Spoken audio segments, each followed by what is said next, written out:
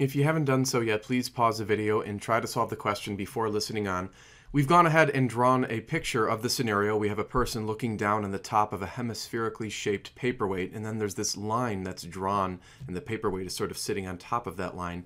And what we want to note is that light from this line is going to originate from the line. It's going to strike the spherical surface, and then it's going to refract and enter the eye of the observer. It's an important convention to note that for spherically shaped surfaces, whichever side the light is originating from would be labeled as the front side. And then the other side would be, of course, the back. And so it would be then important to note that our object, which is this red line, is located on the front side of the spherical surface. And that's going to be important because it's going to dictate certain sign conventions. As just noted, when the object is located in front of the surface, then we're going to call the object distance, which is denoted as p, a positive value. The image distance will be negative, and then the radius will be negative.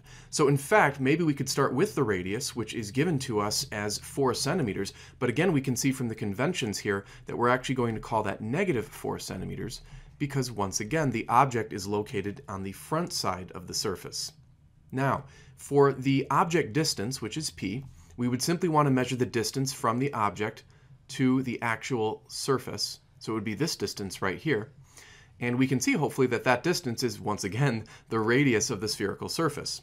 According to our sign convention, we're going to call that distance, that object distance, a positive value. So we can safely say that p is equal to positive 4.0 centimeters.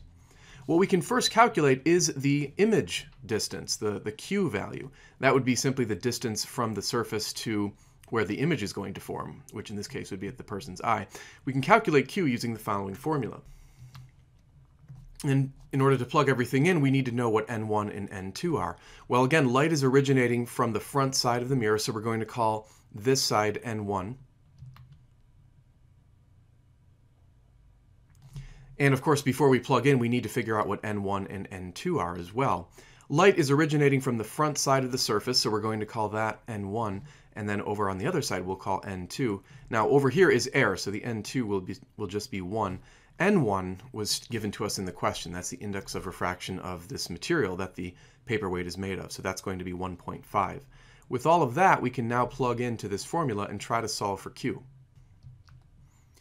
So we've plugged in all the values. Again, our goal is to solve for Q. Why don't we subtract 1.5 over 4 to the other side of the equation. We can then pick up our calculators and compute this value on the right side. We could then invert both sides of the equation. So the left side would become q over 1, which is just q, and the right side would become negative 4 over 1, which is just negative 4. So the image distance, q, turns out to be negative 4 centimeters. Now that's not the answer yet, but we can use that to next find the magnification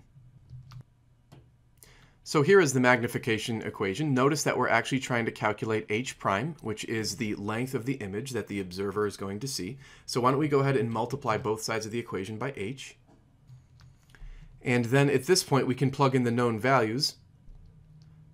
Just keep in mind that h would be the original length of the object itself, and that was given to us as 2.5 millimeters. And so with all the known values plugged in, we get approximately 3.8 millimeters as the length of the image as observed by the person looking down in the paperweight. Thanks for watching. If you liked the video, click the thumbs up icon and subscribe. Also send in your own question to this address and I'll do my best to post an answer to it on YouTube.